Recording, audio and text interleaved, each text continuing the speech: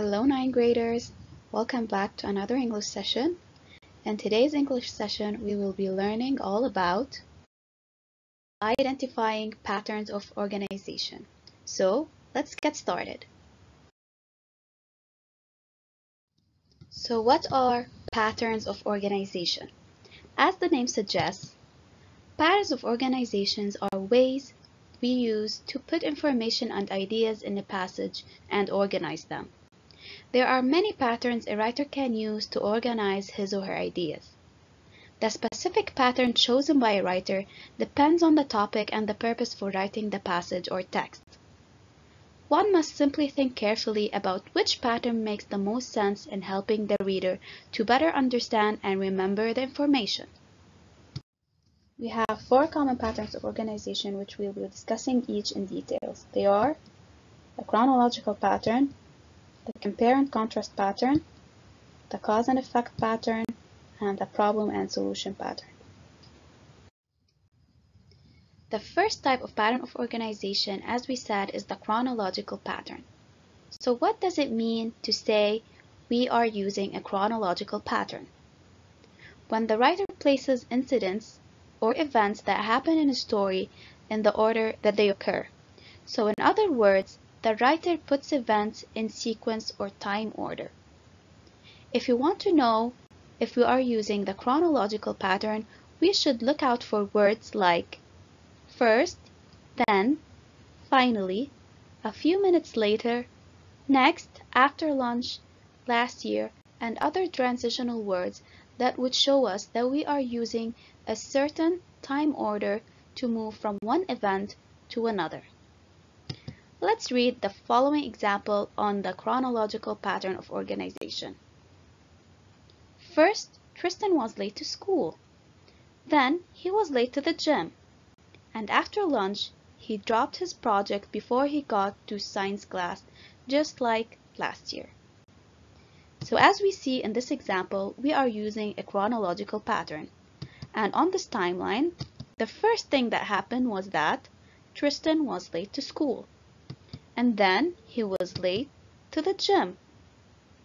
And after lunch, he dropped his project before he got to science class, just like last year. The second type of pattern of organization is the compare and contrast pattern. We use this pattern when we want to show how ideas, things, people, or places are alike or different. So if you want to compare and contrast two things, ideas, people or places, we should use this pattern. Also, if you want to know if a text is using this pattern, we should look out for transitional words like best, more, better, less, worse, easier, and then, and other transitional words that show that two things are being compared and contrasted. Let's read the following example on comparing and contrasting apples and oranges. Apples and oranges are both fruits. They both have a layer of skin. Most people don't eat the skin of oranges while they eat the skin of apples. Oranges have more juice than apples. As we see in this short paragraph, we have the compare and contrast pattern. We stated out first the similarities that they are both fruits and they both have a layer of skin. And then we stated out the differences that people eat the skin of apples while they don't eat the skin of oranges and that oranges have more juice than apples. The third pattern that we will be explaining is the cause and effect pattern of organization.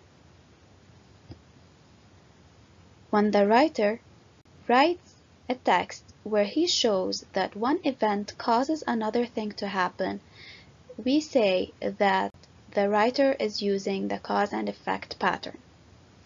And to figure out or use ourselves a cause and effect pattern, we should use transitional words like because, then, since, as a result, and of course other transitional words to show that one thing led or caused another thing to happen.